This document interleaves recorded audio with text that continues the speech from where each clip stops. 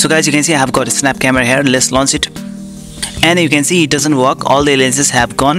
Now I'm gonna show you how we can still use snap camera in 2023 just close it. And we can exit it from the tray.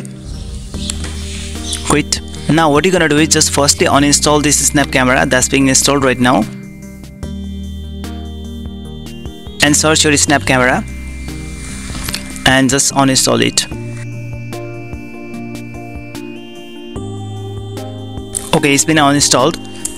Now what you're gonna do is just open your browser and then we're just gonna do a google search for snap camera version 1.21 and you can try links here in order to get the 1.21 version of snap camera. Okay you can check here the version is 1.21 so we can just download it. In some cases the links may expire and you have to try several links in order to get the correct version.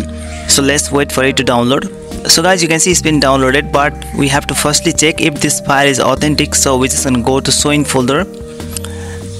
And this is the installer file that we have just downloaded. What you're gonna do is just open new tab and then just go to the second link that I have given you in description which will lead you to this site called md5 file checksum now we're just gonna drop that installer file here.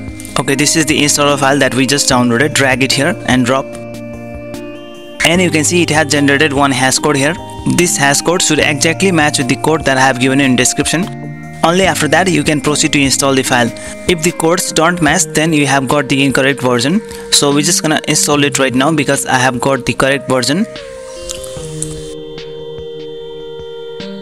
So guys it has been installed but we're not going to launch it for now. Untick the launch option and finish. Now go to your desktop. And we have the snap camera shortcut here. So just right click here and then go to open file location and you can see here it will lead you to snap camera application. So we're just gonna rename it here.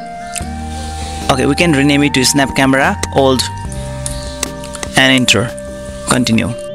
Now we have got last step here that is go to your browser open new tab and then just go to the third link that I have given you in description which will lead you to the snap camera patches site. So this site has been created by Jaku and he deserves all the credit for creating this patch. So what you're gonna do now is go to the snap camera folder you can see here this folder. And we're gonna bring this snap camera old file and drop it here.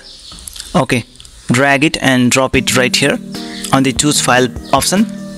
And it has been brought here. So what you're gonna do now is scroll down and click on apply patch here.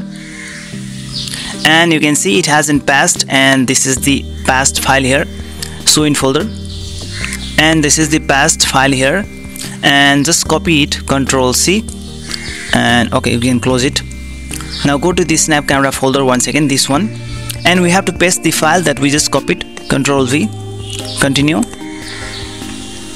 And you can see we have got two files here that is snap camera old snap camera old past. So we're gonna delete this snap camera old one not the past. Just delete it. Continue. And we're gonna rename this snap camera old past now once again to just snap camera. Continue. Now everything has been done. Now what you're gonna do now is just launch the snap camera normally. Run. And you can see now all the lenses are working perfectly and snap camera is live and we can use it.